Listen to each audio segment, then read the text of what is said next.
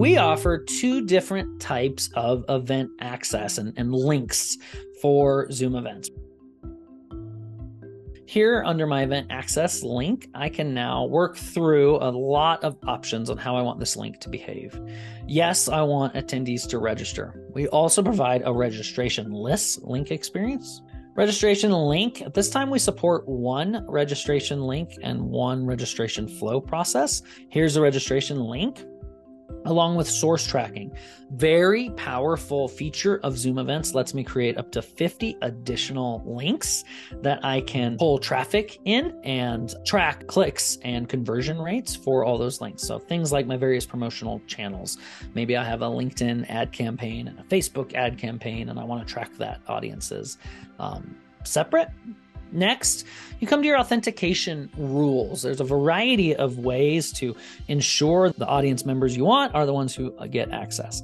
In general, Zoom Events is a very uh, secure and verified user experience. There's a couple of different ways that we allow authentication in our system. The first one is the most open. So, allowing people to verify and then register for your event with either a Zoom account, we will always take a Zoom account as a way to be verified, or just via a simple um, verification code process. So, we take their email, it's a six digit code that gets emailed to them right away, and then we verify their identity and they can now register.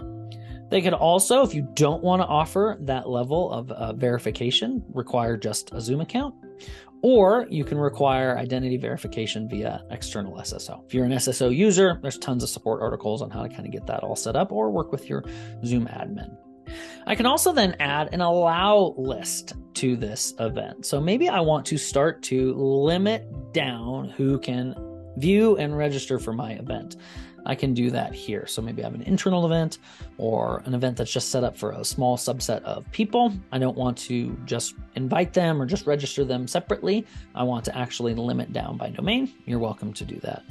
In addition, I can also provide, um, require additional email verification throughout the Zoom events experience. So if you're running uh, sensitive events where security is kind of an issue, you can always be um, challenging people with verification codes to ensure they are who they say they are as they come in.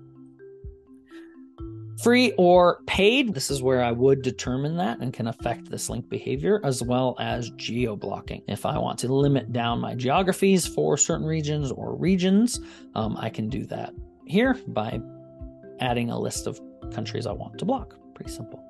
This also is explaining to me the behavior of this link. This registration link in this case goes to our event detail page.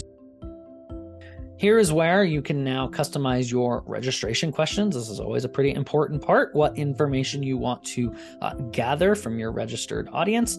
So you can um, ask for and require all sorts of various information. We've preloaded sort of the most common, sort of top 12 uh, list of questions, along with um, and give you the ability to ask custom questions along the way.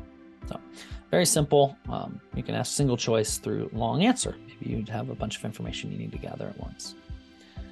Once I'm satisfied with the questions I want to ask, let's see, first, last, we always require email. Maybe I also want to know their organization.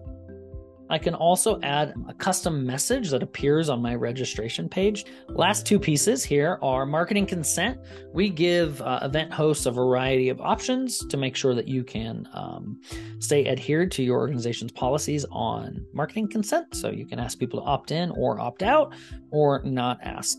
Along with that, privacy policies, you can add up to three uh, privacy policies or terms and conditions. The last little bit notifies you that once you have this link, um, someone will register and eventually will get a confirmation email. So this uh, takes you really quickly there.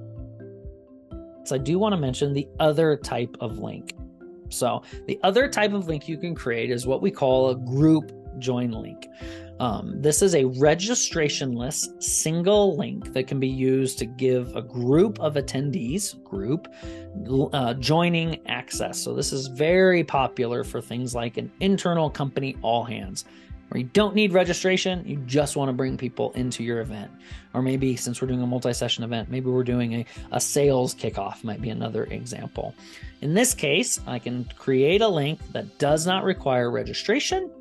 I can name it I can require a various uh, level of authentication. So again, do you want them to be verified with just an email address or logged into Zoom?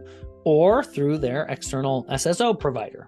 You can have any of those options and then require them to sign in. So maybe your all hands you want to make sure is limited to your domain only. So maybe you want to really require that everyone is signed in with a Zoom account. I can even accelerate that if you have this all set up and then what domains I want them. The link, they click the link, they hit the verification challenge, as long as they log in with a Zoom account with the appropriate domain, and they come to your event.